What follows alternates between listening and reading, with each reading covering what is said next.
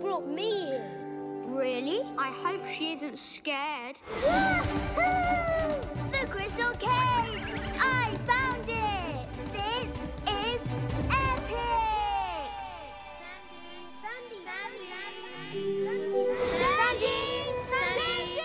I'm here! It's Sandy! But where's it coming from? With all those echoes, her voice could be coming from anywhere. Sandy! Percy, your light is shining right in my eyes. Oops, sorry. Can you turn it off?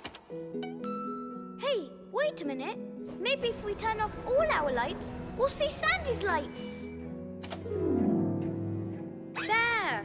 Sandy, don't be afraid. We're coming. Hi guys, glad you can make it. This is the Crystal Cave. I found it all by myself. Wait, you weren't lost? But wait till you see what I found. Everybody, lights on. Whoa. The crystal locomotive. It's real.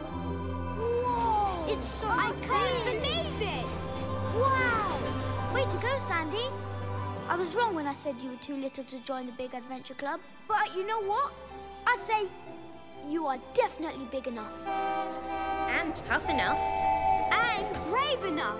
Yeah, I but thanks. I think we need to start a new club that includes all of us. We can call it the Biggest Adventure Club. Perfect. And for our first adventure, we can find a way out of here. Follow me, biggest adventure club. I know the way.